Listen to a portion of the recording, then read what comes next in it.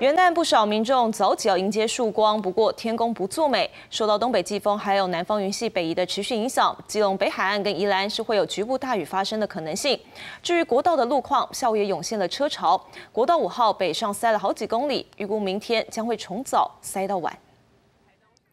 远方地平线只见厚重云层，天还没亮，不少民众就来到台东太麻里海边等待曙光。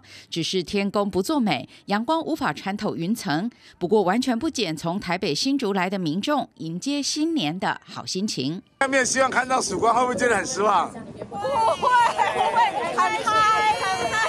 受到东北季风及南方云系北移影响，气象局表示，这两天天气湿凉，基隆北海岸以南地区有局部大雨发生的机会，要到周四雨势才会明显减缓。礼拜四也就五号之后呢，东北季风会稍微减弱了一点，水汽也会变得比较少。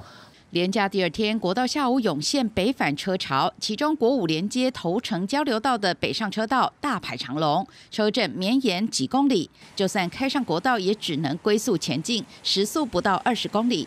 高工局预估，二号收假日会从早塞到晚，上午的九点到晚上的八点都会有车多拥塞的状况。高工局指出，收假日西部国道北部部分路段下午三四点到晚间八点车多拥塞，中部部分路段则从下午三点塞到六点。提醒用路人在早上离峰时段出发或改走替代道路避开。记者综合报道。